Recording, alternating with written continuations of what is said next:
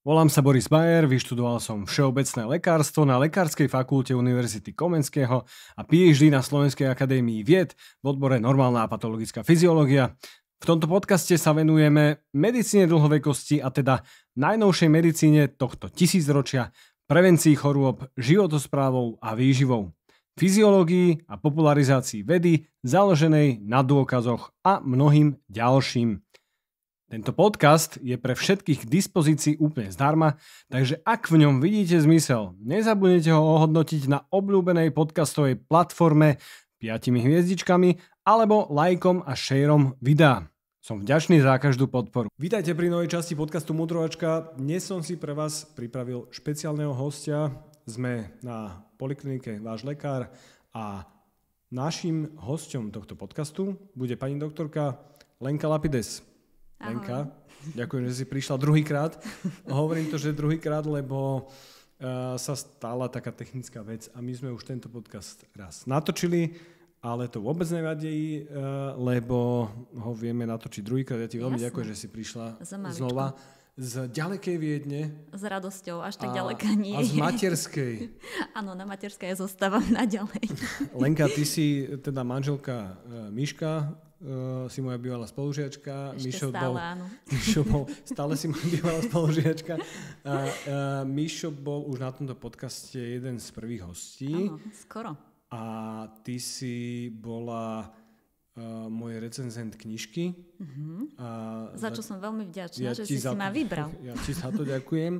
A skús mi povedať, že čo ťa dotiahlo v prvom rade na medicínu? Prečo sme sa my mohli spoznať? Na medicínu. Ja musím povedať, že toto je ťažká asi otázka, pretože ja som, teda aspoň doma mi referujú, že odkedy vlastne som bola malé dieťa, tak som chcela byť lekárka. A to ma viac menej držalo, držalo, držalo a ja ani, keď tak spätne spomínam, asi som ani nad ničím iným neuvažovala. Že som to mala proste nejako v sebe. Že sa mi páčilo to posolstvo a páčilo sa mi ako keby ten príjemne a užitočne strávený čas. Že človek naozaj ten deň aj reálne možno, že niekomu pomôže. Takže sa mi to zdalo byť veľmi zmysluplné trávenie života, však v práci trávime viac menej najviac času. A myslím si, že... Alebo v posteli. to neviem, či je môj prípad, nie som až taký dobrý spáč, mm-hmm. ale... Tomu sa dostaneme za chvíľku. V práci teda trávim veľa času a myslím si, že je to príjemne a dobre strávený čas, kvalitne. Dostala si sa na medicínu prvýkrát? Áno. A uh, čo ťa tam najviac bavilo? Čo ma najviac bavilo? Um, ginekológia, tej čo, sa, tej, čo sa venujem. Ale baví ma aj veľmi, musím povedať, histológia. Tej som zostala aj verná a tam si robím teraz aj svoje PhD. Okay. A histológia, embryológia. Imunitné bunky v maternici. Čiže skúmame u neplodných žien alebo žien, ktoré potrácajú opakovanie. Mm-hmm bunky v maternici a analizujeme, či im vieme nejakým spôsobom pomôcť. A to je tá reprodukčná imunológia? Áno. OK. A tomu sa dostaneme za, za chvíľočku. Ja sa chcem ešte k tej medicíne vrátiť, že uh, ja, ja vás asi vnímam s Michalom už od prvého ročníka. Áno. Z BSMK, si myslím, z Bratislavského spolku medikov. A ty si tam bola podpredsedníčka? Nie, ja som viac menej nebola aktívna v spolku, bola som aktívna aj v spolku, ale ja som bola prezidentka Slovenskej asociácie medikov. Okay. Čiže to bola vlastne... To je nejaká veľká úloha. To bola asociácia, medikov. ktorá pokrývala všetky spolky medikov na Slovensku a tam som bola uh, viac menej aktívnejšia, ale samozrejme, že aj na spolku. Čo robí taká asociácia? No pokrýva vlastne celé ako keby tieto aktivity medikov na Slovensku, čiže nie iba lokálne, ale aj v Martine, aj v Košiciach. No a moja funkcia bola viac menej zastrešovať a koordinovať tie aktivity, ktoré spolky vykazujú, sledovať, čo robia iné takéto obdobné asociácie vo svete, reprezentovať Slovensko napríklad. Okay. Čiže um, nemala som uh, teraz v rámci tých aktivít spolku až takú uh, úlohu, že by som ja konkrétne chodila na tie aktivity, čo je škoda, že som ich viac menej iba takto zastršovala, i keď bolo pár aktivít, kde som sa aj ja zúčastňovala, a to bola nemocnica pre medvedika. Uh-huh. Kedy sme vlastne detičkám ukazovali ako, sa, ako prebieha vyšetrenie, ako sa chodí k doktorovi, čo sa tam deje. Takže tieto aktivity skôr som potom bola aktívna v spolku. Partnerom tohto podcastu je Poliklinika Váš lekár. Väčšina z vás asi vie, som spolumajiteľom a medicínskym riaditeľom v Poliklinike Váš lekár a je to nová poliklinika, ktorá sa venuje preventívnej medicíne v Bratislave v Eurovej 2, kde máte všetko pod jednou strechou. Pre viac info poliklinika.vašlekár.sk Ty si pamätáš nejakú spoločnú skúšku našu? Áno, ale som už nad tým rozmýšľala, neviem teraz presne, no, ktorá no to bola. Bola to 100% teoretická, teoretická skúška, ale teraz neviem, či to bola proste chemia, alebo či to boli mikróby, či to bola biochemia, alebo mikróby si myslím. Povedz mi, u koho no. si bola na biochemii? Uh, u koho som, no u Lišku som nebola. Ja som a ty bol si bol u Lišku. Čiže preto sme sa tak, som aj nad tým rozmýšľala, Aha. tak potom asi to boli mikróby. A potom som bol, to bola komisia, to boli dve skúšajúce no, na biochemii. hej. A... Aha, na biochemii, že to boli dve skúšajúce. Áno, to bol môj opravák. Potom mm-hmm, ako ja som u pán docent Líška 5 hodín skúšal a potom vyhodil, tak uh, mikroby som bol potom u profesorky Kotulovej. Áno. Tam si bola tiež? Áno. Tak tam sme sa podľa mňa Podľa mňa, hej, čiže spätne som nad tým rozmýšľala, tak okay. si hovoril, že už som druhýkrát, tak potom som rozmýšľala, no u Líšku som nebola. Čiže tam to nemohlo byť, takže vlastne, že kde to, kde to bolo mikroby, tak som Čo si si potiahla na mikroboch, pamätaj si? Už neviem, fakt neviem. Ja si pamätám druhú otázku, čo som si potiahol, že mikroorganizmy ako biologická zbraň. to bola taká otázka, akože veľmi halúzna. A prešiel si, alebo hey, ti hey, boli osudné? Akože prešiel som, uh, dokonca som dostal Ačko z mikrobiológie, wow profesorky Kotulovej, a, lebo som hovoril svoj vlastný návod, ako si spraviť biologickú zbraň. a to sa jej veľmi páčilo, že, že ako v kuchyni, e, normálnej, regulérnej kuchyni vieme vytvoriť biologickú zbraň. Výborne. Tak a, vidíš, každý musí mať na to nejaké páky, ako prejdeš. Nenahovárame. ale, teda, že, e, dobre, a z nejakej skúšky ťa aj vyhodili? Jasné, jasné. Čo ťa, čo ťa tak mm. najviac si pamätáš? No, viem, že to bolo trikrát, čo ma vyhodili a to bolo s určitosťou biochémia, potom to boli mikroby práve, čo mi boli osudné a potom to bolo ešte tá urgentná medicína. OK. To ani to neviem. bol taký čo, čo, čo... pán nejaký. Hej, ale tam to nejako... Hej. A viem, že ďalší deň som išla znova a som to spravila. si sa stihla doučiť. Áno. Tá noc sa... bola veľmi intenzívna a všetko som to stihla. To sa mi ešte nestalo, že ďalší deň by som išiel na skúšku no. urobil by som. Hej, vydalo. A ja si pamätám teda kopec skúšok, že ja som na veľa skúšok bol vyhodený a ja som teda uh, taký ten, uh, ten typ, že som spravil nespraviteľné a nespravil nenespraviteľné, že skrátka mňa vyhodili drahí medici, z angličtiny. Vyhodili ma z nukleárnej medicíny, čo sa nedá vyhodiť. A, lebo všetci, čo chodili na prednášky, vedeli, že z tej nukleárnej medicíny, vieš, tam sú tie rozpady, tie polčasy rozpadu a, a to sa máš proste naučiť a to spravíš tým pádom. A ja keďže som nechodil na prednášky z, z hm. nukleárnej medicíny, nielen z nukleárnej medicíny, tak uh, som stále išiel ďalej a ďalej a v čase, ktoré mali byť v sekundách, som hovoril v hodinách. Takže uh, všeli, čo sa, takto, že chcem povedať medikom, že nezáleží od toho, že čo sa podľa mňa uh, dopočujú na skúškach od niektorých skúšajúcich, že naozaj, keď si nájdu tú jednu časť medicíny, lebo tá medicína je strašne široká. Áno. A, a vedieť z nej, že naozaj, že že všetko sa nedá. Nie, hej? Že nie, napríklad, v dnešnej dobe už nie, určite no, nie. A, a teba to ťahalo potom do tej ginekológie, mm-hmm, čo hej. je tiež akože... Relatívne skoro, áno. A je to relatívne široký odbor. No, tak ako všetky obory sú relatívne široké. Podľa mňa je to špecifické v tom, že je tam aj nejaká operatíva, sú tam pôrody, je tam aj nejaká preventívna medicína, ale je tam aj starostlivosť o tehotné, čiže nejaká mm-hmm. dispenzarizácia. Je akože podľa mňa je to veľmi špecifický obor. No vynikajúci obor, lebo každý sa tam nájde. Akože vždy hovorím, že v každom jednom obore podľa mňa sa dá nájsť niečo, čo ťa naozaj veľmi zaujme mm. a myslím si, že, že človek sa nenájde v obore, no tak možno, že nenašiel tú časť toho oboru, že, ktorá by ho zaujala, ale hovorím, že ginekológia je úplne win-win, lebo či ťa baví operatíva, alebo nechceš robiť operatívu, či sa chceš starať o tehotné, alebo nechceš sa starať o tehotné, že vlastne Všetko hej. sa tam, každý sa tam môže nejako byť dá v ambulancii, môže byť v nemocnici, áno. môže byť aj kombinácii. Hej, áno, dá sa, dá sa aj presedlať, takže myslím Myslíš si, že je to super. úzko späté s tým, že ako máš pedagóga? Alebo že kto ťa zaujme? Určite, určite hej. aj to. I keď napríklad u mňa ten obor som si vybrala vlastne ešte predtým, než sme ginekológiu mali.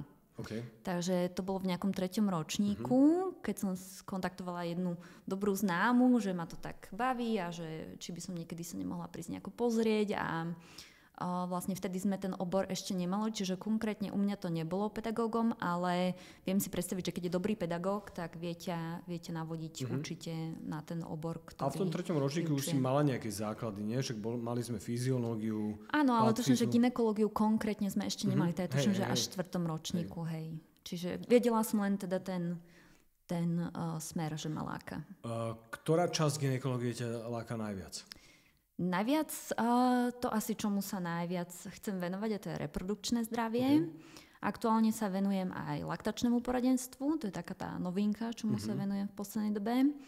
No predtým v minulosti som sa venovala veľmi ginekologické onkológii, to ma veľmi bavilo, aj to bolo veľmi teda ako zmysluplná práca, uh-huh. že ma to veľmi náplňalo. Aj operatíve som sa veľa venovala, ale tam je človek veľmi viazaný na to, aby bol aktívny v nemocnici. Uh-huh a to teraz pri materskej nie som. Čiže... A ty si išla do zahraničia, vy ste išli s Michalom spolu, mm-hmm. najprv do Nemecka áno. a potom do Rakúska. Áno, áno. Tam ste aj ostali potom. Áno. A v Nemecku je aká tá ginekológia, aké sú tam možno špecifika, aké sú v Rakúsku špecifika? Mm-hmm. Áno. Keď to porovnávam, tak tá ginekológia je obširnejšia a spravovali sme teda širšie spektrum ako keby tej ginekológie my, ginekológovia, uh-huh. oproti tomu, čo možno, že na Slovensku je. Rozprávali sme sa o tom v podstate už, že na Slovensku kvázi isté časti tej ginekológie spadajú čiastočne pod chirurgiu, napríklad prsníky sú často operované chirurgami, alebo onkológia spada čiastočne onkológom a toto v Nemecku my sme pokrývali všetko, čiže tam sme si to spravovali sami, i keď tá tendencia je už podľa mňa aj v Nemecku, že postupne si myslím, že už sú tie obory natoľko široké a naozaj sa nedá všetkému venovať, všetko pokryť, že časom možno, že aj tam sa to bude viac menej prerozdeľovať. Mm-hmm. Ale tam teda, keď ja som pracovala, tak sme si všetko spravovali sami. A tam... chemoterapie sme podávali, okay. prsníky sme operovali, plasti, plastické operácie prsníkov sme robili, čiže to spadalo všetko pod nás. To je akože podľa mňa brutál, že no, to je veľ, veľ, veľké spektrum práce, čo áno, musí ten áno. ginekolog robiť. Áno. A je tam tým pádom aj nejaká multidisciplinárna komunikácia s nejakými inými odborníkmi, alebo s čím sa stretáva? Áno, áno, uh, určite áno. Um, napríklad, čo mne v tej dobe sa veľmi páčilo, je, že Um, teda neviem presne, ako to funguje na Slovensku, lebo na Slovensku som nikdy nerobila v nemocnici, ale my sme tak perfektne fungovali, že keď sa riešila napríklad prsná pacientka, ktorá mala nejaký, nejakú rakovinu prsníka, tak bola riešená v našom centre uh, pre rakovinu prsníka a keď uh, bol vlastne predstavený jej prípad, tak zasadla komisia. Tá komisia mala proste niekoľko doktorov z niekoľkých oborov a spoločne sme sa pozreli na ten jej prípad, sme to prediskutovali prediskutovali, zaradili sme skoro každú jednu pacientku sme mali v nejakej štúdii, aby profitovala z tej liečby čo najviac a potom sme ju spoločne viedli počas toho pobytu u nás v nemocnici. Sme ju zoperovali, podávali sme jej chemoterapiu, ožarovali sme ju u nás a zároveň mala už potom hneď rozbehnutý aj ten ambulantný, ako to ambulantné doliečenie, že sme jej vybavili teraz ja neviem, napríklad presne podprsenku na mieru, že sme vybavili fyzioterapiu a že by sme vybavili dokonca už do, dokonca aj liečbu na domov, že bola, ja neviem, napríklad um, um, nejaká sestrička, ktorá chodila k nej domov a ktorá sa o ňu starala mm-hmm. ako keby naďalej. Paliatívne nastavenie tiež po to spadalo. Výživa Takže... sa tam ako riešila? Výživa, mali sme aj uh, výživového poradcu, ktorý chodil, naštevoval pacientky, ale uh, ktoré konkrétne kroky s nimi podnikal, tým, že to už nie je, je môj jasne. obor, tak to už presne neviem. Ale, ale mali si, aspoň. Ale mali sme, áno. OK, v Rakúsku? Áno. V Rakúsku nepracujem v nemocnici, ale taktiež sú, pokiaľ viem, správne t- uh, pacienti rovnako, uh, vlastne hlavne onkologickí pacienti takto uh, nastavovaní. Čiže vždy je komisia, kde bez toho, aby sa niečo operovalo, rezalo, uh-huh. prejednávalo, vždy sa ten pacient musí predstaviť pre tú komisiu, tá rozhodne, čiže to není rozhodnutie jedného človeka, uh-huh. nastaví sa teraz nejaký plán liečby a ten pacient ide to tým plánom liečby. A taktiež sa zabezpečuje, mám dobrú kamarátku, ktorá sa venuje napríklad uh, onkológii prsníkov a taktiež sa zabezpečuje ako keby aj tá liečba na domov, aj potom sa potom ten pacient ako keby odovzdá do ambulantnej sféry. Čiže je tak ako keby viacej dotiahnutý aj ten prechod už po prepustení z nemocnice. Kde si myslíš, že sa držia viac guidelinov? Jaj. To tak je... máš tri krajiny, kde si pracovala. Áno, je to, je to otázka, ku ktorej sa musím vyjadriť tak, ako si myslím, i keď ako nechcem teraz nejako Slovensku postaviť do zvelého svetla, ale na Slovensku guideliny nemáme. Čiže Slovensko tým pádom vypadáva z, z tohto okruhu. V Nemecku má vlastné guideliny, čiže určite Nemecko, tam sú guideliny absolútne na všetko. Rakúsko už napríklad nemá guideliny mm-hmm. na všetko, veľa preberajú z Nemecka. To si už potom niekedy dokonca myslím, že Česko má viac menej lepšie nastavené guideliny, možno, že než Rakúsko. V rámci ginekológie? Aj podľa mňa všeobecne? možno, že aj všeobecne, mm-hmm. hej. Že Rakúšania veľa preberajú uh, podľa mňa z Nemecka, Mm-hmm. Nemci to majú úplne dopodrobná rozpracované. V Česku viem, že tiež je to veľmi dobré, dobre pokryté. Tým, že to doma môžem troška odsledovať, mm-hmm. ako, to, ako to majú v kardiológii, tak um, aspoň takto to vnímam. Povedz mi, ako dôležitá je prevencia v ginekológii mm. a čo všetko tou prevenciou môžeme riešiť. Uh, otvoril som takú akože širokú tému, ale poďme sa možno povenovať tomu, že uh, napríklad ginekologické ochorenia? Veľmi. Prevencia je veľmi dôležitá a nemyslím si, že len v ginekológii, ale vo všetkých oboroch, podľa mňa. V ginekológii je to o to krajšie, že veľmi veľa ochoreniam vieme predísť, ťažkým ochoreniam. A um, neviem, že či je to až takto v povedomí uh, ľudí, že ja reálne napríklad viem predísť rakovine krčku maternice. Jo. To je proste absolútne pre mňa Super, že ideš rovno objav do tohto.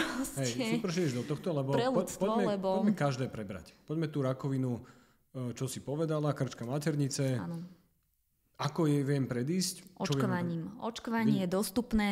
Ja si dovolím tvrdiť, že ja viem, že veľa ľudí má strach z očkovania, ale myslím si, že je to tým, že nemajú dostupné informácie, možno, že do takej miery to nebolo prebrané s nimi, aby, aby porozumeli, že, že na akom princípe to je, alebo do akej miery naozaj vieme tomu predísť.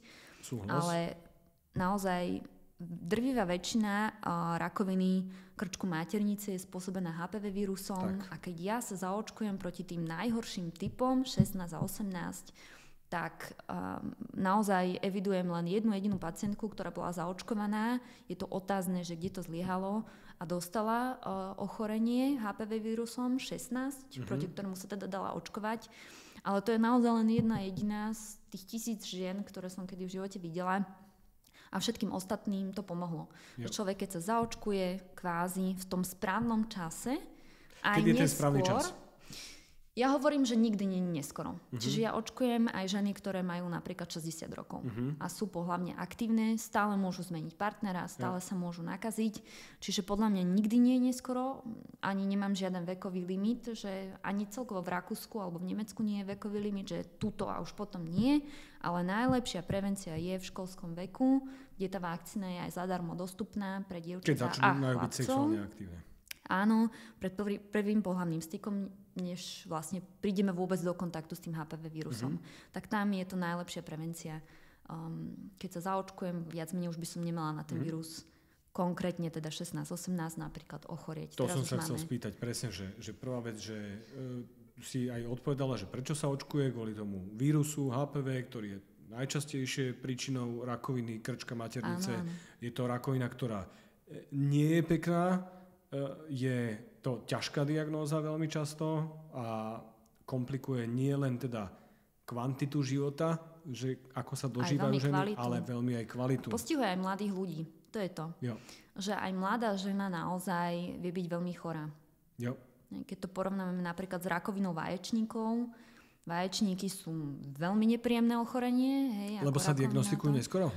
Uh, skôr, že je Sú to také agresívne? silentné ochorenie, silentné, uh-huh. proste, že um, nevieme o tom, že sme chorí. Uh-huh. Pri tej rakovine krčka možno, že aspoň sem tam je niekedy nejaké také podozrenie, nejaký ten náznak, že možno, že niečo nie je v poriadku. Aké môžu byť príznaky? Mm, môžu byť um, nejaké medzikrvácania uh-huh. alebo krvácania po pohlavnom styku. Uh-huh. To už je také, že tú ženu to už tak nejak dovedie možno, že k tomu doktorovi. Ale tie uh-huh. vaječníky sa nepreukazujú nijak, že tam tá žena absolútne okay. nemá nejaké podozrenie, že niečo by mohlo byť v neporiadku. Ale vaječníky sú našťastie väčšinou, ja nehovorím, že je to pravidlom, ale väčšinou skôr v neskôršom veku, mm-hmm. zatiaľ čo ten, um, tá rakovina krčku maternice môže postihnúť aj veľmi mladé ženy. Aj 30-40 ročné aj, ženy. Aj menej, aj menej. Jo.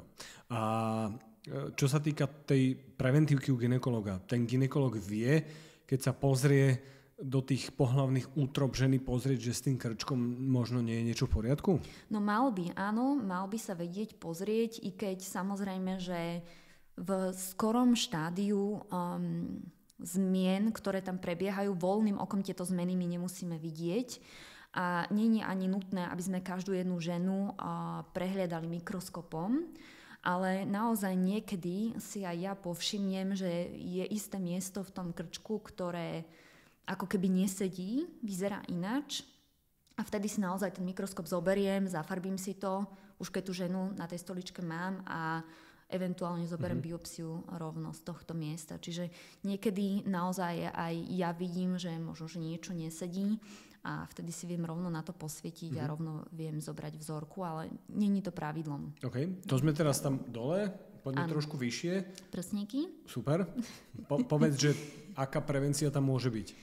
No, v prsníkoch um, je najlepšia prevencia návštevovať doktora, uh, vedieť o možnosti samovyšetrenia prsníkov, čiže každá jedna žena, mladá žena by raz mesačne uh, si mala tie prsníky dôkladne prehmatať v sprche a pokiaľ sa jej niečo nevidí, kontaktovať svojho ginekologa. To samovyšetrenie prsníkov je ale také, hm, že ono samé samovyšetrenie nie je prevenciou až takou, mm-hmm. v podstate len zvyšuje naše povedomie o tomto ochorení. Čiže tým, že ja sa sama vyšetrujem, aj logicky pôjdem častejšie, keď sa mi niečo nevidí k tomu ginekologovi a on to dovyšetruje. Um, v zahraničí teraz aj veľmi je populárne vyšetrenie um, ľuďmi, ktorí nevidia. Čiže nevidomí ľudia vyšetrujú prsníky, lebo majú, majú oveľa mat. lepší mm-hmm. mat Um, tiež je to istá možnosť, tiež je to veľmi populárne vyšetrenie. Ja konkrétne už jen uh, robím aj veľmi rada nezávislosti od veku uh, ultrazvuk prsníkov, kedy pozerám, či sú tam nejaké cysty alebo nejaké uzlíky, ktoré napríklad reagujú na uh, hormonálny, na mm-hmm. menštruačný cyklus pretože samozrejme, že tie prsníky sa inak správajú v prvej polke a v druhej polke. No ale najlepšia prevencia, ktorá môže byť, je od istého veku, to závisí podľa toho, v ktorej krajine sme, mamografia.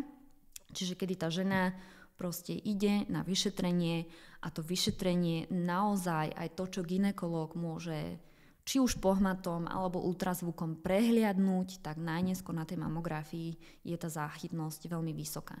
A to vždy dávam veľmi ako keby do popredia, že naozaj ja tým pohmatom a tým ultrazvukom isté zmeny nemusím zachytiť, pretože v tom ultrazvuku nie sú viditeľné. Zmeny. Aj tie prvotné zmeny. Hej, a to môže byť život zachraňujúce. A to je super, že hovoríš, pretože o, o mamografii je strašne veľa mýtov na internete a veľa žien sa toho bojí, že, že je tam veľké radiačné žiarenie. Ja keď som si porovnával tie milisiverty, ktoré sa tam dostávajú do tela v rámci toho radiačného žiarenia, že keď niekto ide uh, transatlantickým letom, tak je to také isté. Je to rovnako, presne tak. Žiarenie. To je aj vždy môj príklad, ktorý uvádzam. Tak som sa to naučila v práci od môjho šéfa, že vždy to, sme to prirovnali k jednému letu a v súčasnosti lietame bez toho, aby sme si robili nejaké starosti, čiže naozaj, keď si to prirovnám, že jeden let, jedna mamografia je to... Možno ty si mi to povedala, že tak som si to zapamätal. A, ale teda áno, že... Ty že, si to vedel sám. Že, že, že uh, to je veľmi dôležitá informácia. Uh, z hľadiska tých prsníkov uh, teda máme nejaké, že estrogen pozitívne, čo, ako by sme to jednoducho vysvetlili, že, že aké, aké sú tie typy tých, tých nádorov prsníkov, ktoré sú možno život viac ohrozujúce mm-hmm. a potom možno trošku zabrdnúť do genetiky na brca 1, Áno. brca 2 a teda?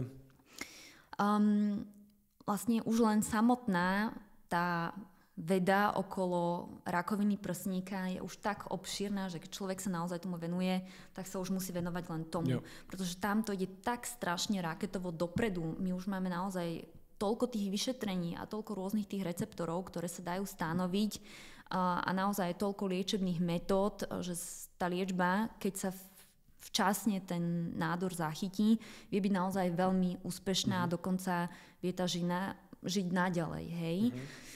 Len keď e, sa tieto rakoviny zachytia neskôr, alebo sú to práve tie nepríjemné typy, ako si spomínal, to sú uh, vlastne, ja to vždy tak hovorím, že my máme ako keby isté čapičky na povrchu toho nádoru, toho ochorenia, na ktoré ja potom viem aj poslať liek. Mhm. Ale keď ten nádor nevykazuje žiadnu tú čapičku, tak tým pádom ja žiadnym spôsobom neviem príklad. ako keby... Mhm um, ten nádor ovplyvniť a to sú tzv. triple negatívne uh, karcinómy, mhm. ktoré vlastne nemajú ani estrogenové, ani progesterónové, ani HER, HER2 uh, receptory, tým pádom ja na ne veľmi ťažko mám dosah a tie sú práve aj veľmi často späté s pozitívnou genetikou. Partnerom tohto podcastu sú probiotika Simproof. Sú to živé tekuté probiotika, ktoré sú overené nezávislými štúdiami. Pre viac info www.simproof.sk Dobre Lenka, teda, že z hľadiska tých génov, aké, aké gény sú možno najdôležitejšie a čo s tým vie potom tá žena spraviť s tým rizikom? Máme veľmi veľa tých génov, hej, čiže my rozprávame takto verejne o tých najčastejších a to sú BRCA 1 a 2. Ale v skutočnosti máme veľmi veľa ďalších, o ktorých sa až tak nehovorí, ale aj v súčasnosti ich vieme testovať. Nemusíme ale zachádzať až tak do podrobností, stačí iba pre širokú verejnosť, keď vie, že sú tam isté gény, ktoré v súčasnosti vieme aj testovať, viem si overiť, že či ich mám alebo nemám, ale ešte pred tým testovaním si najskôr musím rozmyslieť, že keď sa dám testovať a teraz mi naozaj tie gény výjdu pozitívne, tak ako s tým naložím. Mm-hmm. Že to bol vlastne ten prípad Angeliny Jolie, že jednoducho ona sa dala testovať, tie gény vyšli pozitívne, ale potom na to aj reagovala adekvátne, jo. že si naozaj dala to prsníkové tkanivo odstrániť a nejedná sa len o prsníkové tkanivo, ktoré je teda pre mňa potom rizikové, že takmer s určitosťou v priebehu života sa tam rozvinie to rakovinové ochorenie, ale dokonca sa to potom dotýka aj um, uh, pánových orgánov, zase sme pri tých mhm. vaječníkov, aj tam jednoducho tá mladá žena by si potom mala dať um, po 40. roku života zvážiť, že či si nedá vybrať aj tieto orgány, pretože aj tam je tá rizikovosť. Ja som fanúšik toho, že radšej vedieť ako nevedieť a potom sa poradiť s niekým, kto sa tomu rozumie mm. a mhm. spraviť to rozhodnutie. Keď sa týka zdravia, tak určite, hej, že uh, jasné, sú niektoré veci, ktoré sú poligénové, ktoré to riziko tam, že mám nejakú genetické predispozície napríklad na maligný melanóm, hej, mm. ale že pozriem sa do zrkadla, keď som bledý a teraz uh, každé leto sa spalujem, tak viem na to reagovať tak, aby ten maligný melanom som nedostal Áno. už potom, alebo mm-hmm. ideálne, aby som sa nespadil ešte predtým. A, ale z hľadiska tých brca génov, tak, tak ako hovorí, že BRCA1 je viac ako 50%, neviem, či to je cez 70 alebo koľko Aj šanca, že, že v živote... Aj viac, to je takmer s určitosťou jednoducho. Hej, že, že nie sú... je to otázka, že, že či, ale že kedy. Áno. A, a podľa mňa je fajn toto vedieť, pretože tie ženy majú už v dnešnej dobe možnosti, ako to vyriešiť, ako byť spokojný aj so svojím vzhľadom, lebo to je podľa mňa to, to naj, ten najväčší e, strašiak pre ne, že, že, že ako sa budú cítiť potom, keď si tie prsníky dajú vyoperovať a, a nielen prsníky. Áno, ale treba zase podotknúť to, že ja dávam ten príklad tej Angeliny Jolie, ktorá je proste verejne známa osobnosť a u nej napríklad absolútne nie je vidno, že by mala nejaké ja. následky po tej operácii. Vyzerá rovnako pred, možno, že ešte aj lepšie po, to nevieme posúdiť, ale absolútne teda je vidno, že by ona uh, nejako ako um, na vonkajšok uh, teda trátila tou operáciou. Pri tej prevencii je to vždy také, že ja minimálne s mojimi pacientami alebo klientmi um, diskutujem o tom, že či je to žiaduce to vedieť. Z môjho ohľa pohľadu um, ja napríklad tiež by som asi chcela vedieť, že či teda mám nábeh alebo nemám a asi by som reagovala adekvátne, ale treba vždy podotknúť, že už keď sa naozaj dávam testovať a naozaj túto informáciu celý život budem mať, tak potom na tú informáciu treba reagovať minimálne tým, že chodím na pravidelné prehliadky alebo respektíve pri týchto génoch sa dám operovať. Horší prípad je, keď sa dám testovať a potom ma postihne ako keby strach a mhm. neriešim to. Mm-hmm. Čiže tam je potom už aj tá záťaž z toho strachu ochorenia um, nepríjemná a teda ani nepri, neprinieslo to žiaden benefit pre to naše zdravie. Mm-hmm. Dobre, to sme boli pri rakovinových ochoreniach. Poďme ku uh, sexualite a poďme sa porozprávať o uh, jednak sexuálnom styku a prevencii pohľavných chorôb Uh, veľa ľudí sa pýta, že fungujú tie prezervatívy na tie pohlavné choroby? No, čo je to pohlavná choroba? Keď sa napríklad bavíme už o prevencii a o HPV víruse, tak HPV vírus je natoľko sofistikovaný vírus, a teda vírus, uh, že napríklad takým prezervatívom prejde. Čiže to nie je ochrana, tam dochádza aj ku kontaktu kože na kožu. Mm-hmm. Čiže napríklad, keď si niekto myslí, že si dá prezervatív a um, tým ako keby predíde tej možnej infekcii, tak je na omile. Čiže, to je HPV a potom HIV a ostatné vírusové? HIV je práve v rámci tej sexuálnej výchovy, sme sa učili, že tam jeden prezervatív rozhodujúci to je to minimum, čo proste, hlavne teda, keď my žijeme v rozvinutej krajine, ale pre rozvojové krajiny určite je to proste 100% mhm. lepšie než nič. Je to vyslovene um, odporúča sa mm-hmm. sa chrániť.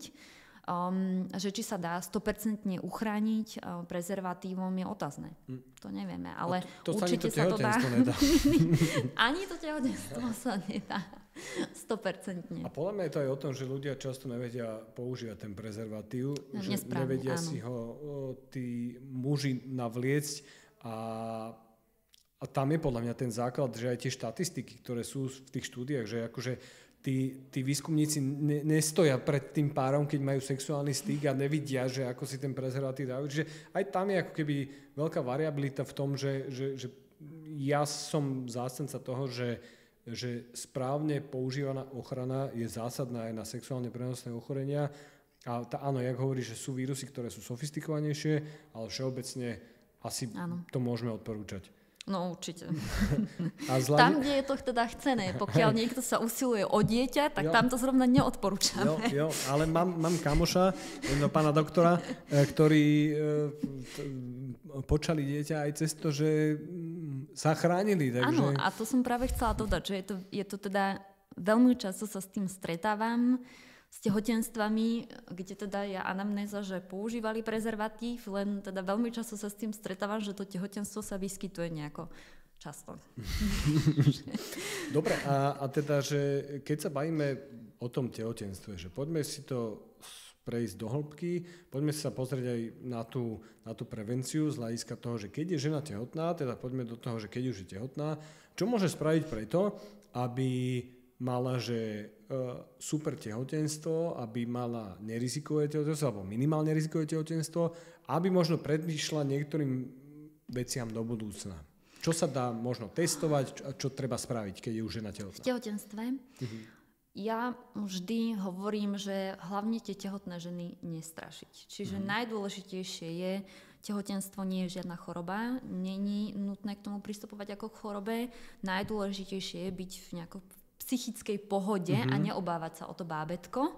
Čiže uh, vždy sa snažíme k tomu aj pristupovať tak nejak v kľudovom režime a uh, sú ženy, ktoré naozaj sa majú tú potrebu sa dávať testovať a respektíve majú tú potrebu návštevovať ginekologa a vidieť je to ako super možnosť, ten ultrazvuk, mm-hmm. že človek vidí to bábetko, vidí, že je všetko v poriadku a potom veľakrát ako nastane takéto fú a všetko fajn a proste všetko je na poriadku. I keď treba si povedať, že aj tie ultrazvukové vyšetrenia sú isté termické žiarenia, ktoré není teda dobré teraz mm-hmm. na naozaj že týždennej báze stále no. pozerať. Hej? Čiže nejaká taká tá zdravá miera vyšetrenia, um, keď sa jedná o mladé zdravé ženy, ktoré počali bez nejakých nápomocných metód, nie je dôvod si robiť nejaké starosti, že by malo byť niečo v neporiadku, ale rozprávame sa o tých možnostiach.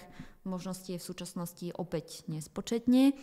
Ja teda moje tehotné ženy vediem tým spôsobom, že v prvom trimestri sa testujeme, je možnosť prenatálneho screeningu z môjho uhla pohľadu vynikajúca vec. Sú samozrejme pacienti, klienti, ktorí jednoducho si neželajú byť testovaní, sú úplne v poriadku s tým, či babatko bude zdravé alebo bude mať nejaké odchýlky zdravia.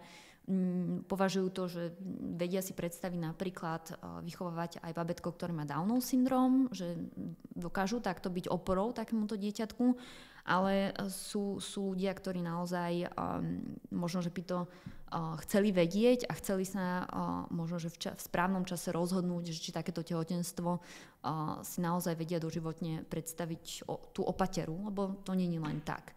Čiže prvotrimestrálny screening ja mojim pacientkám odporúčam, je tam možnosť, sledujeme jednak ultrazvukom isté markery a takisto sa odosielajú vzorky, v súčasnosti už sofistikovane z krvi, kde potom príde výsledok, či to babetko je v poriadku. To je taký prvý checkpoint a druhý checkpoint je okolo toho 20. To okno je medzi 20 až 22 týždňom tehotenstva, kedy sa robí ako keby rozšírený ultrazvuk a tam sa sledujú úplne tie už minimálne štruktúry a znova sa tak ako utvrdíme, či je všetko v poriadku, respektíve či je niekde nejaký nedostatok, ktorý musíme sledovať. Mm. A ja si dovolím povedať, že to je od krajiny ku krajine iné, že keď príjeme do Británie, áno. tak tam koľkokrát, dvakrát za tehotenstvo sa stretne s ginekologom? Ja musím povedať, že čo mňa ako ginekologa najviac a, asi šokovalo, bolo, keď mám a, pacientky z Kanady, okay. ktoré, keď ich chcem pozrieť ultrazvukom, sú úplne z toho vyvedené z miery, že čo sa ide diať, lebo veľmi veľa žien aj v pokročilejšom veku v živote ultrazvuk nemalo. A oni naozaj reálne... Okay reálne som mala naozaj minimálne tri takéto uh, ženy, ktoré boli úplne v šoku, že ich chcem povyzliekať a mm-hmm. čo sa bude diať. Mm-hmm. Ale um, ako není to štandard mm-hmm. ultrazvuk. Hej. Dobre, čiže to, to je taká, že prevencia toho, čo sa môže stať, potom, že uh, áno, že ja súhlasím s tým, že netreba stresovať tie dámy, keď, keď už sú tehotné, ale uh, to, to je veľmi o tom, že aký je to typ psychologický, veľmi často. Hej, že, Ťažko že... povedať. Akože dovolím si tak nejak protirečiť, alebo moja skúsenosť je, že v súčasnosti my počúvame toľko tých informácií dostupných a toľko všelijakých diskusných fór, že veľmi často a vo veľmi skorých týždňoch ženy prichádzajú a naozaj, že ten to tehotenstvo sprevádza mm. taký trošku strach, že to mm-hmm. tam je a čakajú na ten ultrazvuk a chcú proste už vidieť, že či je všetko fajn a že už tak nejako čakáme, že kedy budeme ten 11. týždeň a 13. týždeň, že už máme tie checkpointy jo. tak za sebou. Áno, to, to máš pravdu Takže určite, je to že... také, vie to byť aj veľmi stresujúce. Jo, jo, a to je podľa mňa tým, že ako sa mediálne komunikuje často niektoré veci a vieme, že na to sú ľudia najviac náchylní na svojich potomkov a, a preto to tak môže byť. Áno, určite treba hovoriť aj o tom, že, že treba to brať možno viac nechcem povedať športovo, ale že, že viac v pohode. Tak v konečnom dôsledku ten stres je vlastne to najhoršie, čo tam môže aj, to je tiež negatívny vplyv. Jasné. Čiže Jasné. a ovplyvniť ho je ťažko. No. Ako môže matka svojej životospráve dopomôcť tomu, aby to dieťa malo všetko potrebné? Mm, vyváženou stravou, no. Alebo kontaktovať teba ešte lepšie. Nemusí ma kontaktovať, ale Počúvať že tvoje možno, podcasty. Že, že uh, aby vedeli, že čo je dôležité pre to dieťa, aké živiny možno, čo možno by mali doplňať, uh, čo možno by nemuseli doplňať a hovorí mm-hmm. sa o tom podstate um, odporúčanie je viac menej len takéto, že, že nevyhnutné odporúčanie na kyselinu listovú. Uh-huh. Tá je teda, by mala byť štandardná v každom tehotenstve a potom už je to veľmi od toho typu tej ženy. Že keď vidím, že je to jednoducho mladá, vzdelaná žena, ktorá má správne stravovacie návyky, má v strave zahrnuté ovocie, zeleninu, meso, prílohy, má dostatočný energetický príjem, a teraz e, nerobí nejaké vyslovenie športy uh, excesívne, že by mala veľmi veľký výdaj, tak už nemusí kvázi nič také iné dbať, aby to bolo sem tam nejaké ryby, aby bolo dosť omega-3, aby bolo dosť vitamínu D. tak už nemusí nevyhnutne teraz nejaké špeciálne iné vitamíny. Ale moja skúsenosť je, že už keď naozaj to tehotenstvo nastane, väčšinou nasadzujeme už multivitaminový pre, prípravok, ktorý je dostupný, že už je to taký štandard, i keď to už není takéto, že nevyhnutne musí. Keď vidím, že žena je napríklad vegánka, vegetariánka, vegánka, tak tam už musíme samozrejme, že veľmi si posvietiť a pozrieť a už cieľene jednoducho uh, tú ženu aj viesť uh, istými kontrolami a naozaj dbať o to, aby nenastal niekde nejaký deficit. Um, mala som dokonca tehotnú ženu, ktorá niekde v nejakom 20. týždni mi referovala, že pije 20 Red Bullov denne, čiže všetko je naozaj možné. Takže to mňa ani nenapadlo. Mm. Niektoré veci ma ani nenapadnú ako diskutovať. A mm. Väčšinou sa bavíme o káve a tak ďalej, mm. ale Red Bulli naozaj... Kávu nepijem, môžete sa ďalej pýtať. Kávu nepila, lebo pila tých áno, 20 Red Bullov. Takže um, bavíme sa o káve, bavíme sa um, o pitnom režime, bavíme sa o športe, o nadmorskej výške, ale naozaj o Red Bulloch ma, ma nenapadlo. A to už si prešla do toho, že čo môže poškodiť dieťa, že čo môže byť nejak teratogénne, že čo môže to dieťa ako keby poškodiť znútra aj zvonka.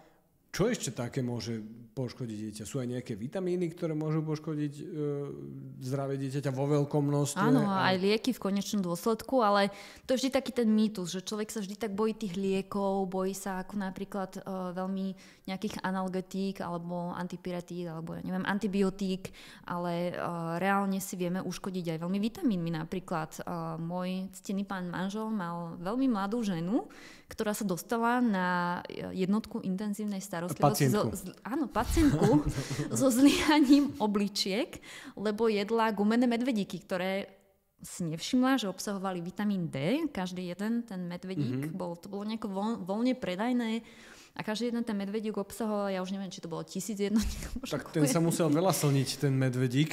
No, veľmi veľa sa slnila, ona naozaj pojedla veľmi veľa tých balení a sa reálne dostala okay. až do takého stavu, že zlyhali obličky. To je náš prvý prípad, čo počujem o, o že takejto toxikóze vitamínom D, mm. lebo ja som už videl toxické hladiny, že cez 300 a u športovcov, mm. ale a videl som tie nežiaduce účinky toho, ale mm-hmm. že mhm. takúto, no. že, že hypervitaminózu toxickú, že prvýkrát počujem. Áno, tak ja teda nebola to moja pacientka, ale tým, že to mám z prvej ruky jo. kvázi, tak uh, som naozaj potom spätne aj rešeržovala, že či sú takéto medvedíky vôbec voľne dostupné a naozaj sú voľne dostupné. Okay. Čiže keď si ako keby titrujeme isté tie vitamíny alebo isté možno, že výživové doplnky, ktoré sme počuli odtiaľ, odtiaľ, odtiaľ a nekonzultujeme to nejako. Nie vždy sa ani tie doplnky spolu môžu tak no. sa naozaj dá aj uškodiť. Ľudia zabudajú na to, že rozdiel medzi doplnkami výživy a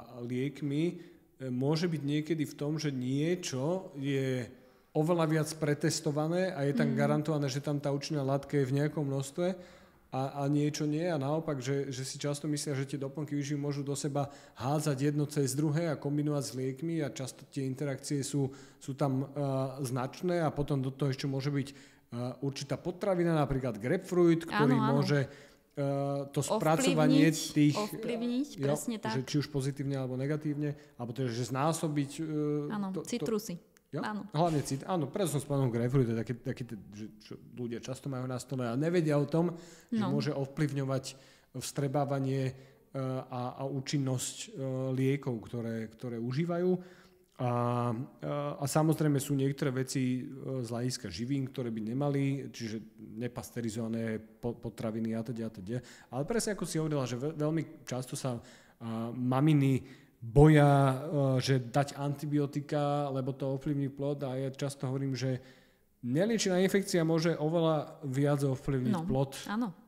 A, a, a taká tá, že, že, že eh, prúdenie tých baktérií v krvi. No, oni musia vedieť, predčasný že... pôrod veľmi jo? v skorých týždňoch, kde to, jo, je to spo- ani nemusíme zachrániť. Čiže... systém s tým dieťaťom. Mm. Čiže No, čiže treba, preto ja som rád, že hovoríš o týchto veciach, lebo treba ľuďom dávať tieto veci, ktoré často nepočúvajú z relevantných zdrojov, ale počúvajú informácie z, z internetu a keď nevieš selektovať tie informácie, tak sa do, dopatraš k niektorým presvedčeniam, ktoré nemusia byť úplne optimálne. Hej, no, ideálne si vypočuť aj jednu stranu, aj si možno, že sám dohľadať, ale tá pravda je vždy určite niekde tam v strede. A bavili sme sa o tom, že, že už dieťa e, má v brúšku mamina a čo keď sa jej nedarí? Keď má problémy s plodnosťou. Aký je to podľa teba problém? Mm-hmm. Že bavili sme sa, že si bola recenzentkou mojej knihy, takže tam si pomerne dosť mi informácií dala spätných väzieb e, z ginekológie, ale že Eh, je to podľa teba, že eh, téma dneskajška? Neplodnosť uh-huh. je to veľmi veľká téma a hlavne to bude téma, pretože um, naozaj to naberá ako keby na obrátkach, že naozaj v súčasnosti um, veľmi veľa ľudí um, sa zapodieva tým, že by chceli vedieť, uh, či to babetko budú môcť mať alebo nebudú, ale um, podľa mňa ako by sme vôbec takúto otázku si ani nemali klásť, ako kým je človek plodný a je v tých mladých rokoch, tak by naozaj to dieťa sa mal snažiť počať, pokiaľ je to možné, pokiaľ má partnera a má nejakú tú prácu, lebo do budúcna to naozaj nikdy nikto nemôže garantovať a um, aj to bude stále tým vekom ťažšie a ťažšie. Ako je to s tým vekom? Bavíme sa Ťažko. o tom, že to je, že, to je, že ovplyvniteľno, neovplyvniteľný rizikový faktor, že áno, že na jednej strane, že u veľa ľudí je ovplyvniteľný, že sa rozhodnú, kedy má dieťa, niekedy nie, skrátka, keď nemajú partnera, tak mm. je to aj, aj v tomto prípade neovplyvniteľný, ale že neovplyvniteľný je určite, lebo stárneme všetci a, a mm. že jasné, že je nejaký biologický vek, kedy má žena vyššiu šancu, že je fit a že môže byť plodná, ale predsa len asi tým vekom to klesá. A rapidne to klesá. Kedy si táto debata vôbec nebola, kedy si naozaj už žena, keď bola v 30 tak už to bola fakt, že pomaly stará dievka. A tie tehotenstva boli niekde medzi 20-30, gro tých tehotenstiev. V súčasnosti, bohužiaľ, taká je doba. A tá doba je krutá že jednoducho si nemôžeme dovoliť, možno, že um, nemáme finančné zabezpečenie, možno, že nemáme partnera, možno, že sú to iné okolnosti, ale to tehotenstvo často nastáva po 30 niekedy až po 40 O, tie ženy možno, že niekedy ani nemajú až tak na výber, hej, keď v súčasnosti sa dajú zamraziť vajíčka, dá sa to čiastočne poistiť, ale teraz napríklad možno, že nemajú partnera, ne, nevedia, že táto možnosť existuje a už po tej 30 35 už to není samozrejmosť, že tá žena oťohotne. A naozaj to nie je samozrejmosť. A po 40 to už sa bavíme, naozaj je to, je to, ja viem, že niektoré ženy počnú, chvála Bohu, a počnú spontánne po tej 40 ale bavíme sa, že tá šanca je naozaj tak rapidne redukovaná, že to je do 5%, do 3% a potom už do 2%, mm. že naozaj sa nedá na to spolahnuť. Mm-hmm. Nehovoriac o tom, že to tehotenstvo po tej 40 môže naozaj aj nebyť zdravé. Dobre, že si povedal, áno, že je tam je to rizikový faktor potom aj pre vývoj toho plodu, aj hlavný, u muža je to rizikový, rizikový faktor, faktor áno. že čím neskôr má to dieťa, tak uh, však v knižke o tom píšem veľa, takže, ale uh, dobre, že si spomenula mrazenie vajíčok, uh, lebo toho sa, je, je kopec mýtov tiež okolo toho a veľa ľudí o tom ani nevie, že je tam možnosť, mm. pritom podľa mňa je to jedna z tých akože najzásadnejších vecí, čo sa v ginekológii udiali z hľadiska plodnosti, lebo vajíčko si musíme uvedomiť, že to je naša bunka, že to nie je ešte ľudský život Áno. ako taký.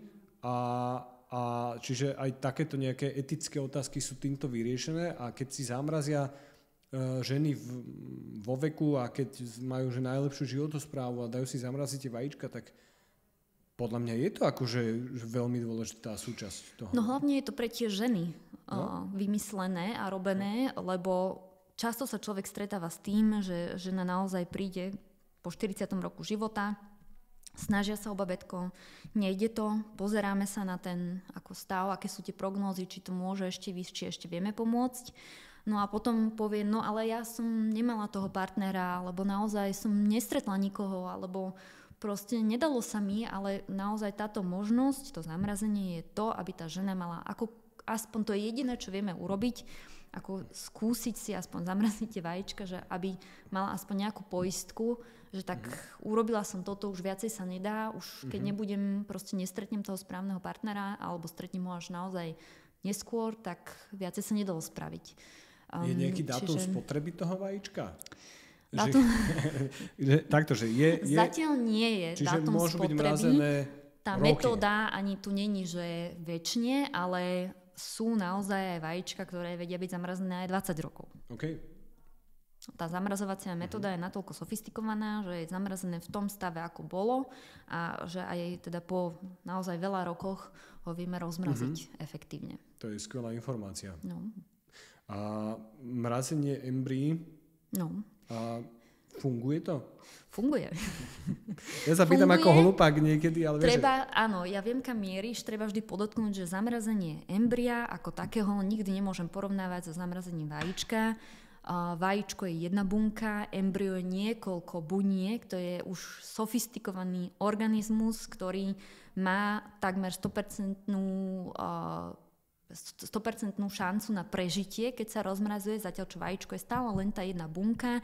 Nemusí sa rozmraziť, nemusí sa rozmraziť v dobrom stave, nemusí sa oplodniť a nemusí sa ďalej vyvíjať na to embryo. Mm-hmm. Čiže od vajíčka k embryu veľmi veľký rozdiel a to embryo je už naozaj, tam už je aj vysoká šanca, že keď to embryo sa vpravuje do maternice, že naozaj z toho vie počať tehotenstvo. Zatiaľ čo vajíčko má ešte veľmi veľa checkpointov, ktorými musí prejsť, aby z neho kvázi vzniklo embryo a vznikla tehotnosť. A je tam aj ten druhý faktor, že uh, ten muž, že, No. že tiež, že keď si dá niekto zamraziť spermie, dá si zamraziť vajíčko, je to pár, a potom, že tam tá cesta k tomu embryu je proste dlhá.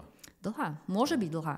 To nikdy nevieme. No áno. Môže byť dlhá, ale keď sa bavíme o vajíčku a spermii, sa dá skôr povedať, že to sme ešte veľmi na mile vzdialení mm. Oproti tomu, ako keď majú zamrazené embryo. To je skôr ešte vyššia šanca, že, že tá konkrétna bunka vôbec nemusí k embryu dospieť, než že by mohla k nemu dospieť. Takže aby dámy mali aj informáciu, že takéto možnosti sú a Sú. sú, a sú, sú podľa mňa veľmi dôležité. Mm, veľmi. A poďme na inú tému v rámci, v rámci e, prevencie a aj v rámci teda medicíny v ginekológii. Menopauza. No. Ja už som mal jeden diel o menopauze ako taký, ale skôr sme sa venovali hormónom a, a jednej štúdii uh, uh, Women's Health, Initiative, uh, ktorá bola v médiách proste zle uh, reprodukovaná. A, ale teda, že poďme možno na tú menopauzu, perimenopauzu, že kedy je ten vek tej ženy, kedy je, je to skoro, kedy je to neskoro, čo sa deje v tom organizme Áno. ženy. No, jedno je isté, že aj tam všetky spejeme. A spejeme tam rozdielne, mm-hmm. že napríklad veľa žien zaskočí, že v 40. roku života už vôbec nie je skorá menopauza. Mm-hmm. No. Takže to je vždy taký ako otvárač očí, že 40. rok a povieme si, že no, už ste v menopauze, alebo teda možno, že do roka, do dvoch budete v menopauze a tie ženy sú naozaj z toho veľmi prekvapené, lebo si tú menopauzu spájajú až s neskorším. 50-kou. No, 50 Ja. alebo 55, tam niekde neskôr a sú aj tak nastavené, ale naozaj v 40. roku života, keď tá menopauza príde, tak um, vie to byť veľmi prekvapujúce a tie ženy aj musia vedieť, že no dobre, tak teraz možno, že prídem o tie všetky hormóny a čo s tým? Jednoducho to telo je aj reálne nastavené, že do tej 50 55 zvyčajne by to ešte mohlo nejako hormonálne A fungovať. ten vek? Že, že kedy uh, je tá menopauza v populácii? Oh, myslím si, že je to dané zatiaľ aj veľmi geneticky. Mm-hmm. Dokážem povedať, že napríklad keď moja mama bola v skorej menopauze, mm-hmm. tak s najvyššou pravdepodobnosťou aj ja pôjdem do skorej menopauzy.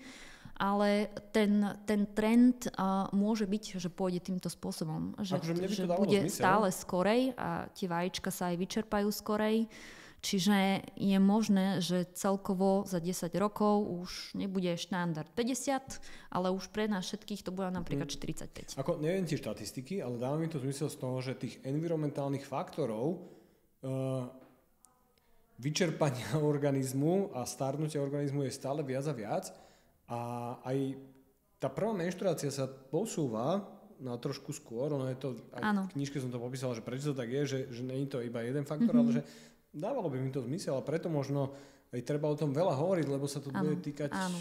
Zatiaľ hovoríme o, o tom, že tá genetika je taká ako predurčujúca, čiže uh, mám to viac menej dané aj geneticky, ale áno, do budúcna je možné, že budeme hovoriť už štandardne o ako keby nižšom veku, kedy tá menopauza štandardne nastupuje. Čo s tým vie žena robiť s tou menopauzou, aby bola čo najpríjemnejšia alebo čo najmenej nepríjemná? Tá žena, čo by mala a mohla robiť, je hlavne vyhľadať ginekologa a um, ako keby prejsť si s ním vôbec uh, to nastavenie, že či chce s tým niečo robiť, respektíve prečo by s tým mohla a mala niečo robiť. Um, my tie hormóny potrebujeme. My sme nastavené na ten hormonálny život, uh, potrebujeme to nielen naše pohlavné orgány, ale potrebujú to napríklad naše kosti. Hej, a už len z tohto hľadiska, keď nad tým tak rozmýšľam, tak keď príde tá menopauza napríklad 40 tak je to takmer na tutovku, že keď s tým nič nebudem robiť, tak budem spieť len jedným smerom a to je osteoporóza. Je to na tutovku. Čiže, Tie štúdie o tom hovoria.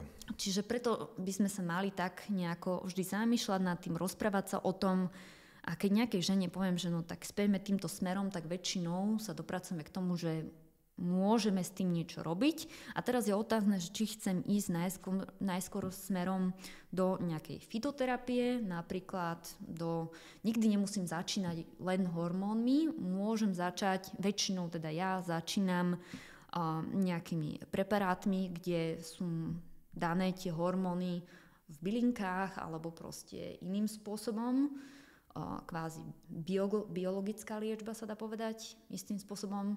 A, a potom časom, keď tie symptómy sa rozvinú a tá menopauza začne naberať na obrátkach, viem stále tú liečbu gradovať napríklad do hormónov. Mm-hmm. Že viem to aj istým spôsobom titrovať alebo kombinovať. Nemusím hneď ísť to, čo sa tie ženy mhm. boja, že hormóny teraz a čo sa s nimi stane a dostanem z toho možno, že rakovinu. Není tomu tak. Ja, viem, viem tie hormóny čerpať aj od inakiaľ a nemusím hneď začínať s hormónmi.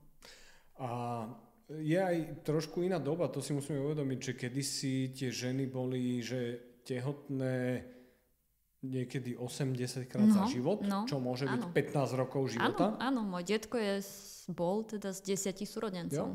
Čiže, čiže bolo to bežné, tá žena v skutočnosti nemenštruovala. No, mala väčšiu ochranu jo. celkovo a to teraz v súčasnosti vôbec nemáme. No. Nemáme, takže o, treba sa práve zapodievať, čo máme a čo môžeme reálne využiť z toho, A to má vedieť do ďalšej témy, čo je antikoncepcia. Áno. že, že tiež opradené množstvo mýtov, áno, že áno, či je. je tá antikoncepcia riziková, či je neriziková, asi pravda bude niekde uprostred a že kedy možno zvoliť tú antikoncepciu, kedy mm-hmm. ju určite nezvoliť. Mm-hmm. Chcel by som si prejsť určite uh, tromboembolie, chcel by som si prejsť eh, PCOS a maskovanie mm-hmm. symptómov PCOS antikoncepciou.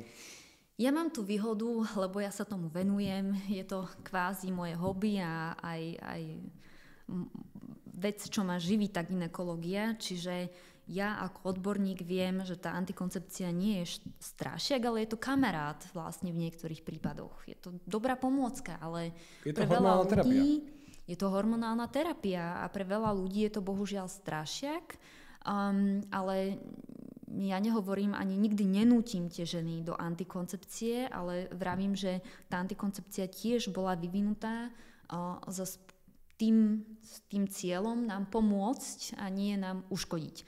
A keď si to vždy tak zoberieme, že celosvetovo koľko žien bolo a je nastavených na antikoncepcia, že tá antikoncepcia by bolo naozaj niečo škodné, tak to už by sme tu snáď možno, že ani neboli.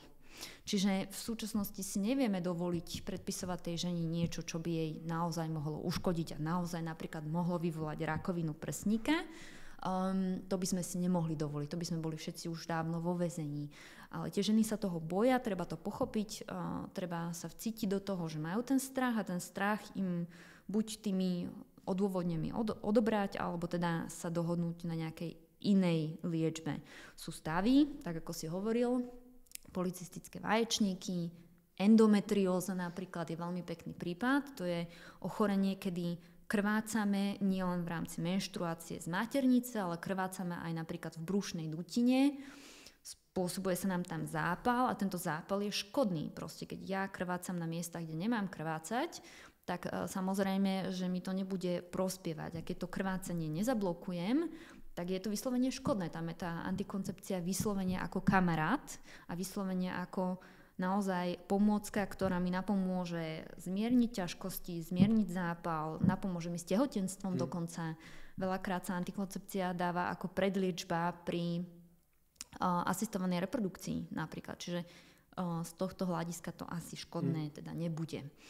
Um, mne, sa, mne sa toto páči presne, že často si dámy myslia, že oni keď boli uh, mladšie, v puberte, mali akné a všelijaké rôzne iné príznaky, uh, dali uh, im lekári antikoncepciu, zmizlo to, všetko bolo v poriadku, dlhodobo užívali antikoncepciu, potom chceli odtehotnieť, nedarí sa im a berú a myslia si, že to je otázka toho, že mali antikoncepciu. Mm. A ono to najčastejšie je to, že mali v skutočnosti celý život syndrom politických vajšíkov, Áno. A tá antikoncepcia iba maskovala potom tie príznaky. Maskovala príznaky, alebo naopak sa zase dostávame k tomu veku, že jednoducho sa snažím otehotnieť. 37 jo. je taký ten typický vek, ktorý prichádza väčšinou potom k nám na konzultáciu a jednoducho v tých 37 už nie je štandard, jo. že otehotniem a Um, je to prirodzená ľudská vlácnosť, že hľadám, prečo sa mi nedarí, prečo proste ja, mňa takéto niečo postihuje a snažím sa nájsť ako keby to, čo mi to spôsobuje a snažím sa to ako keby posunúť možno, že na ten preparát ako taký, ale jo. ten to teda a ja som aj... 37 nemusí byť za tým nevyhnutne, ani není. Jasné. A ja som aj do knižky písal tú štúdiu, kde to vyslovene analyzovali a tam zisťovali, že Myslím, že do pol roka už je ten hormonálny systém znovu späť akože v plnej do, palbe. do troch mesiacov už by sme no. nemali no. vôbec nachádzať kvázi nejaké stopy. Jo. Toho, ak to nie je depotný prípravok, jo. čo ja, teda je veľká škála tých preparátov, každému sa dá nájsť to, čo mu vyhovuje. Ak naozaj niekto nechce hormonálnu liečbu, tak súčasne už máme napríklad bezhormonovú. Aj jo. tak sa dá nastaviť pacienta, ale v niektorých prípadoch teda tá hormonálna je kamarát. Uh-huh. A e, niekedy však e, sú, užívajú antikoncepciu e, mladé dámy, ktoré by hm, ju ani nemali. museli a nemali a mohli by zvoliť iné cesty, ako zabraniť otehotneniu a ktoré by pre ne nemoh- nemuseli byť rizikové.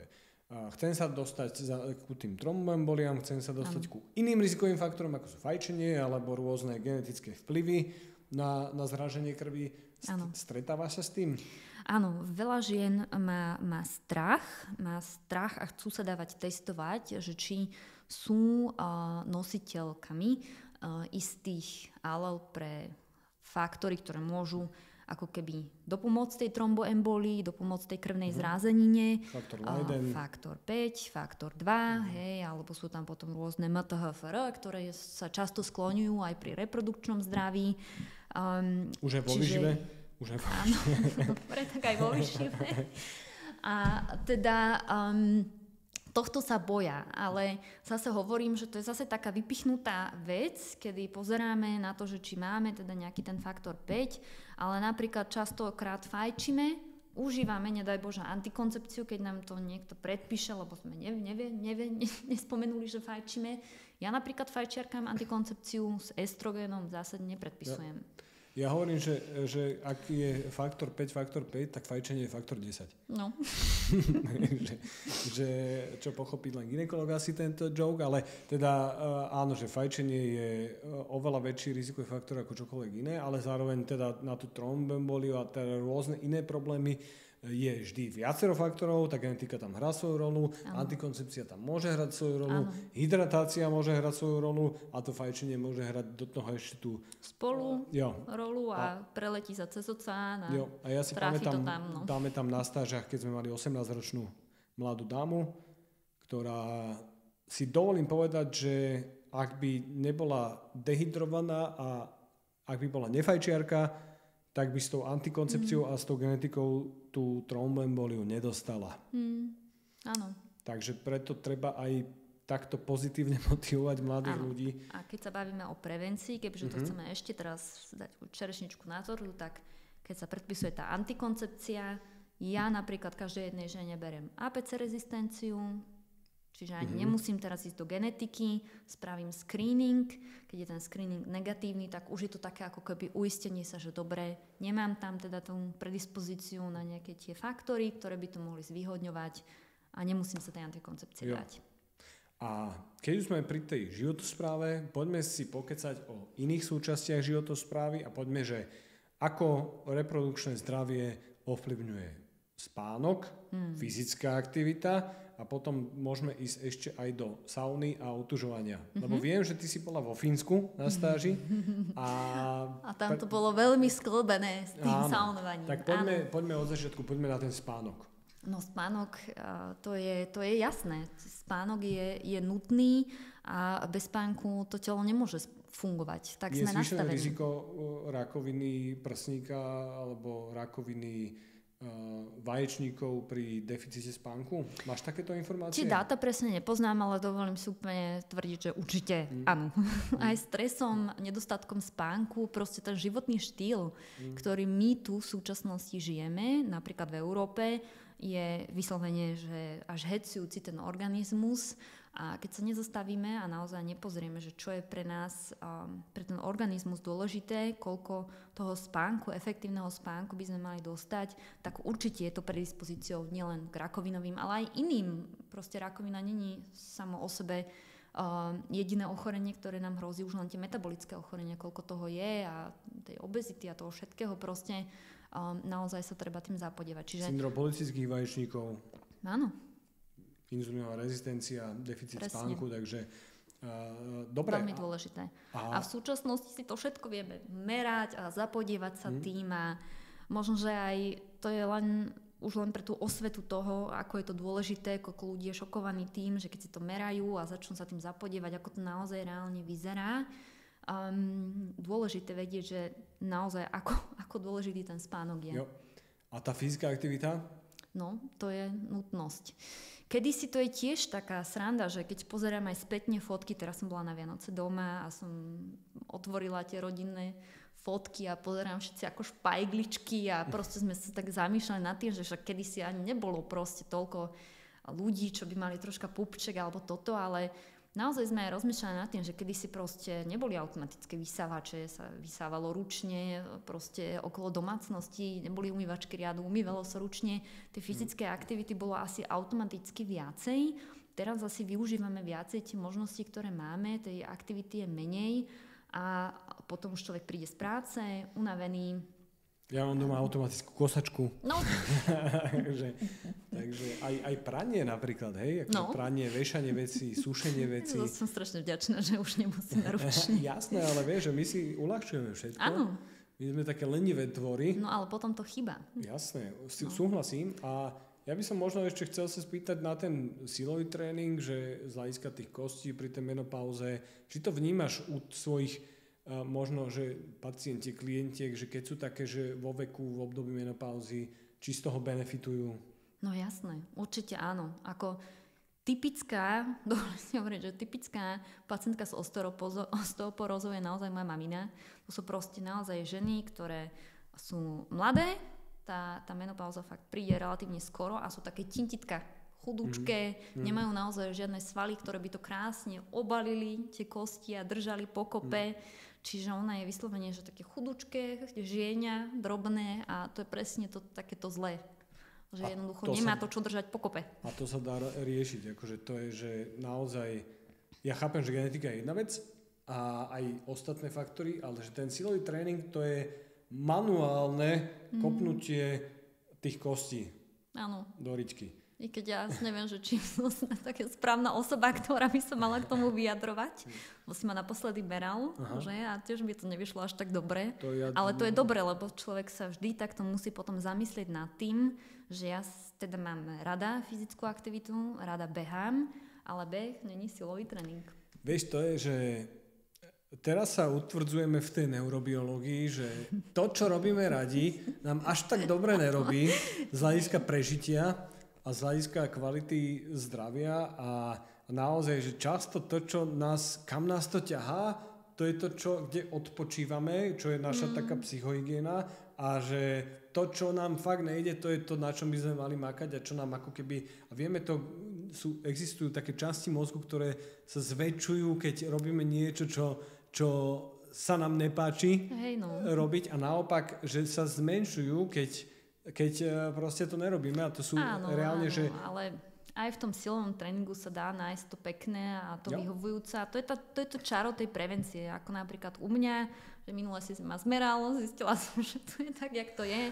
Mám tú genetiku, mám tú predispozíciu, nemám teda ten, to svalové obalenie, ako by som mala mať, tak áno, o tom je tá prevencia, že teraz si reálne s novým Jo. rokom sadnem a niečo s tým urobím. A vieš, tebe sa určite beha lepšie ako mne a zároveň mne sa lepšie cvičí ten silový tréning ako tebe, ale že vieš, že ja preto behám, lebo viem, že mi to nejde a že proste to musím robiť, a, lebo je to jednak zdravé, ale jednak už som si na to tak navykol, že, že ja som to nemal rád a teraz si bez toho neviem predstaviť život. Aj veľa ľudí mi to hovorí, keď už fakt dlhé roky cvičia silovo, tak zrazu, že už si bez toho nevedia predstaviť život.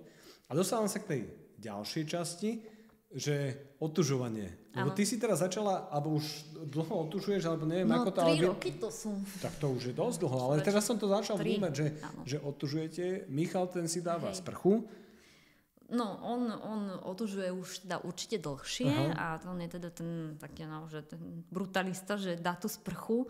No ja som asi taký, ja, ja musím povedať, ja som veľmi dobrý príklad toho, že to otužovanie sa dá. Lebo ja som bola tak zimomrivý človek, že to bolo absolútne neskľúčiteľné si predstaviť len, že, že sa vyzlečiem vonku, alebo že pre, pre mňa tá studená sprcha to aj v súčasnosti vôbec nezvládam a hovorím, že ja keď som tam vliezla, tak už tam vlezie absolútne každý.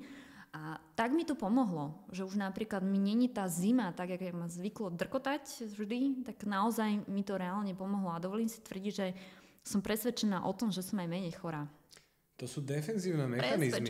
To že, akože reálne to sú tie, ten proces tej hormézy, že čo ťa nezabije, to ťa posilní, tak to reálne funguje, že ty keď sa vyzlečeš v tom chlade, tak cítiš, keď vnímaš svoje telo, cítiš, že on sa začne brániť. Hneď v momente. Začne sa brániť, začne robiť všetko preto, aby prežilo v tých podmienkach. Keď to nespravíš tak, že sa podchladíš, tak ťa to vie posilniť. A, a to otužovanie posilňuje podľa mňa nielen telo, ale aj mozog. Áno. A teraz ťa úplne dorazím jednou informáciou, ktorú som si načítala. No, a že zapodívala som sa hodne nad tým, lebo však si spomínal, že som na materskej, že jak je to s tým tehotenstvom a tak ďalej. Ja som teda išla aj nohami, aj v tehotenstve som sa chodila teda naďalej otužovať len teda nohy, aby som z toho nevybehla, aby som teda nebola chorá a Není to teda úplne, že tam tie dáta nie sú, sú limitované, že či má, že, že chodiť alebo nemá, ale myslím si, že je to kulturálne. Vo Fínsku proste otužovali všetci, tehotné, netehotné, deti, naozaj ľudia, čo mali asi 100 rokov. Čiže tam to je proste kultúrne dané, že sa tam chodilo do tej sauny a boli presvedčení o tom, že je to prospešné. Um, Oni, oni Aj sa aj tým- saunujú a otužujú naraz, že? Často. Áno, oni potom chodia určite aj pred saunou, ale hlavne po saune teda chodia do zamrznutého mora. Mhm. A myslím si, že aj s tým, s tým otužovaním je to takto, že je to dané hodne aj kulturálne alebo v našej hlave a teda um, som si to tým, že som, som, mám výhodu, že som ginekolog, porodník, tak som sa takto rozhodla, keď teda tie dáta nie sú úplne 100% že či je to vhodné alebo nevhodné. Ale sranda je, čo som sa dočítala pri tom, že pre ženy je výhodnejšie sa chodiť otužovať v prvej polke cyklu. OK. Som úplne bola prekvapená touto informáciou. Akože uh, z dôvodu hormonálnych hladín, že tam je Áno. viac estra, estradiolu? Áno, že práve, že tam e, není až tak dominantný progesterón a ten progesterón kvázi je pri tom otužovaní už nevhodný. Že tam sa ako keby začíname v tej druhej polke cyklu skorej triasť a skorej tomu brániť a že vlastne sa až tak neschladíme, ako by sme sa mali schladiť. Aspoň takto si to pamätám, že som to čítala.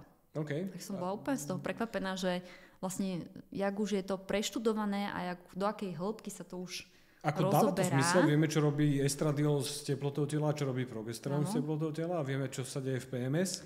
Takže už keď ideme až do takejto hĺbky, a že kedy sa vlastne otužovať, tak je jasné, že to otužovanie môže byť Mhm. len, len prospešné.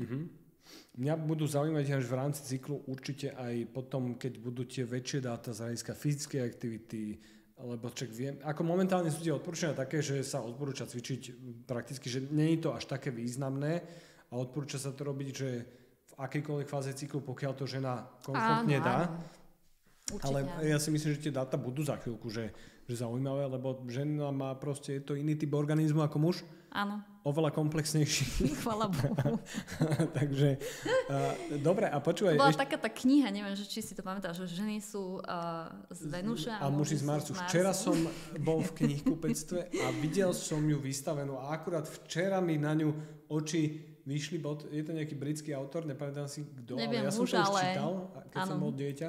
To bola A- dobrá kniha. Hej, akože je to pravda, veď sme proste rozdielni. A Akože máme byť rozdielní, áno. Máme byť, však a ja hovorím, že nemáme sa chápať, máme sa rešpektovať.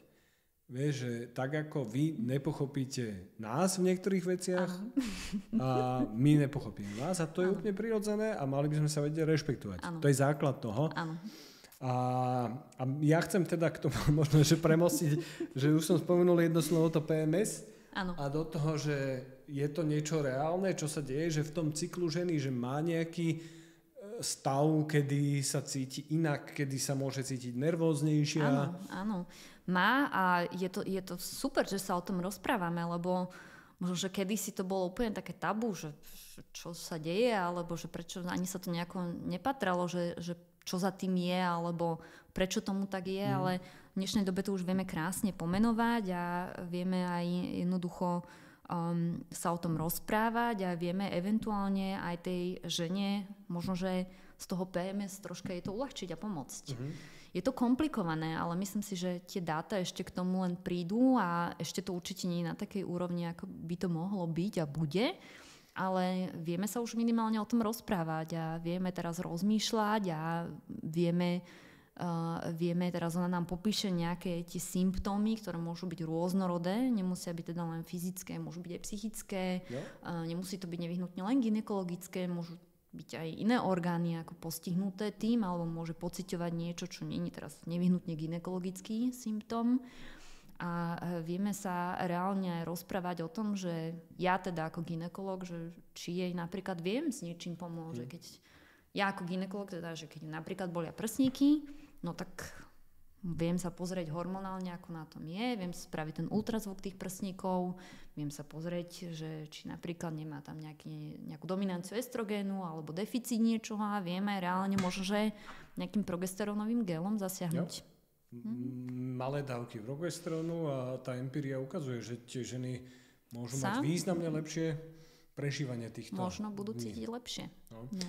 A, a vieme, že e, tie receptory na tieto hormóny steroidné, estradiol a, a progestagény a, a rôzne tieto ženské hormóny, nazvime ich tak, hoci ich majú aj muži, a takisto ako vy máte tie mužské, tak uh, tie receptory sú v rôznych častiach tela, vrátane mozgu, vrátane ce- centier hladu a hedonických centier chutí, takže tie štúdie už sú a hovorí sa naozaj o tom, že ženy za to nemôžu, že majú iné chute, Proste môžu za to tie hormóny, ktoré ovplyvňujú ten mozog. Áno, ale to neznamená, že teraz to Jasne, budeme všetko to- zase to mne pripisovať nemusíš hovoriť. tomu. Ja len tak pre istotu. Musíme sa vedieť aj ovládať, samozrejme. Dobre, Lenka, ja ti ďakujem teda, že si prišla druhýkrát na tento podcast. Ja mám ináč... Rada, prídem ja, aj ja do tretice. neviem, neviem, aký máš ty pocit z tohto, ale podľa mňa bol ešte lepší ako ten prvý, čo sme natočili. Asi hej. Že bol... Uh, zmo- že som sa tro- trošku ako keby, že jak sme to dali, bolo tam podľa mňa veľa zaujímavých dôležitých vecí a bolo to také viac štrukturované, čo bolo podľa mňa moja chyba prvýkrát, lebo ja som sa chcel pýtať úplne všetko a naraz. A teraz podľa mňa z toho budú mať diváci a poslucháči uh, ešte lepší uh, zmysel. Dúfajme, že to padne dobre na užitok a myslím si, že, že sme sa úplne tak super zohrali a určite to nebolo, že tvoja chyba, ale že myslím si, že to tak vyplynulo asi Jo. nejako samo, že možno, že dobre sme sa obidvaja vyspali. že dobre, že sa zničil tablet uh, po tom, ako sme nahrali ten prvý podcast. Uh, vážení diváci, uh, host, ktorý vás dnes prevádzal týmto podcastom, je pani doktorka Lenka Lapides, ginekologička, pôrodnička. Ďakujem veľmi pekne, že si prišla. A ja ďakujem. Tento podcast má iba informačný charakter. Informácie z tohto podcastu neslúžia ako diagnostika a terapia vášho zdravotného stavu. Využitie informácií a hlavne nesprávnym spôsobom je na divákov a poslucháčov vlastné riziko. Počúvanie podcastov nesupluje návštevu vášho lekára.